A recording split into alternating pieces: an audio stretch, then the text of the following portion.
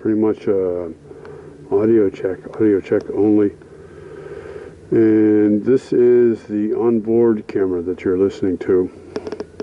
You can, uh, maybe you can hear the sirens in the background.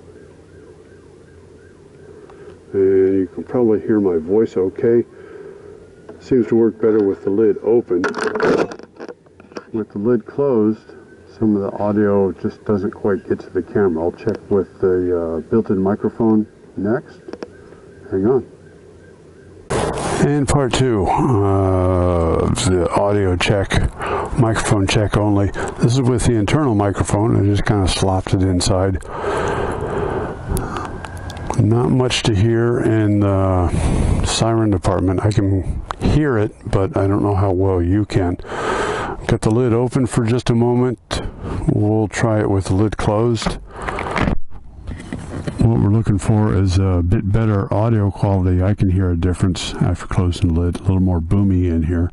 And the goal is so that you might be able to hear me as I'm heading down the road and I might narrate as necessary.